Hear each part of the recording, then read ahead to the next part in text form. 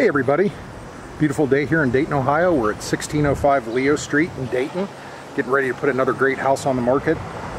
Really, really nice house. Two bedrooms, one full updated bath. Got a full unfinished basement here and a one car detached garage. House offers 1,064 square foot of living area. Let's go in and take a look. We just stepped in the front door here at 1605 Leo Street in Dayton, Ohio. What a refreshing surprise. We've got lots of uh, new stuff in here. The seller was uh, really taking the time to update the place and make it look nice for the sale. Uh, lots of new flooring, all new carpet, fresh paint. Uh, outside, I forgot to mention, we've got a brand new roof on the house. Absolutely gorgeous, dimensional shingles. So when you come in here, we walk into the main living room. Super cool fireplace.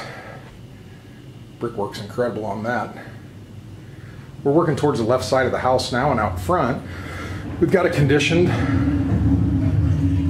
I don't know if we can call it a Florida room on the front of the house or not, but uh, certainly a gorgeous, usable room with lots of window, windows and a bunch of natural light. Uh, covered front porch, that's where we came in. This room could really serve multi-functions. Really up to you what you want to do with it. Uh, newer windows throughout, updated windows. Ceiling fans are super cool. There's two of them here in the living room. There's the front door we came in. Slide into the dining room area here. Again, all new carpet, new paint. Nice light fixtures in here too. Heading towards the back of the house, working the right hand side if you're facing it from the street. Wonderful size kitchen here. Lots of counter space, updated backsplash, tile floor, lots of natural light in here. Go ahead and take a peek here. This goes down to the unfinished, clean, and painted basement. And the service door goes out back to our one-car detached garage and covered patio. Heading back towards the dining room, Far out there is the front door we came in. Again, we're going to work the left side of the house now if you're facing it. We've got our two bedrooms on this side. This would be the bedroom closest to the street.